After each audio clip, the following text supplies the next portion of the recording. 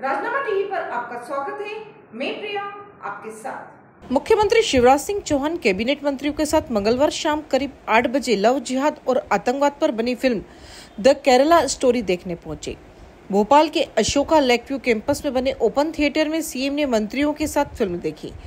CM Chauhan की पत्नी साधना सिंह और अन्य मंत्रियों के परिजन भी साथ थे।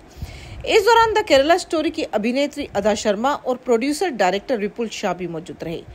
मुख्यमंत्री ने कहा, द केरला स्टोरी की पूरी टीम के साथ में अपनी टीम को लेकर फ़िल्म देखने आया हूँ।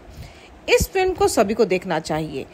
झूठे प्रेम के जाल में फंसकर हमारी बेटियाँ अंधेरी दुनिया में पहुँच जाती है, जिससे उनकी ज़िंदगी नरक बन जाती है। देश विरोधी कृत्यों में उन्हें फंसा दिया जाता है।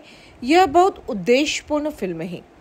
द केरला स्टोरी को देखने के लिए गृह मंत्री डॉक्टर नरोत्तम मिश्रा, नगरीय प्रशासन मंत्री भूपेंद्र सिंह चिकित्सा शिक्षा मंत्री विश्वास सारंग आदि मौजूद थे।